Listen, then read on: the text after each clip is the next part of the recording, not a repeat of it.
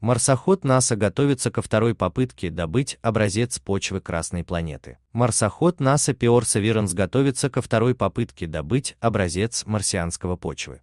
Аппарат преодолел расстояние более 455 метров, чтобы добраться до цитадели.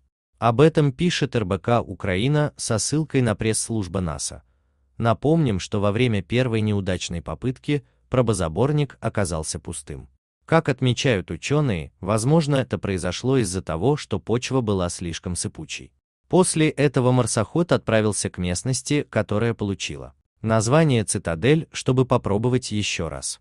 Отметим, что цитадель – локация, которая расположена на дне кратера Езера. Ученые убеждены в том, что эти горные породы не будут столь сыпучими, как те, что использовались во время первой попытки. Ближайшие несколько дней Perseverance будет пробовать отшлифовать выбранный учеными камень, чтобы понять, стоит ли продолжать операцию с этой горной породой.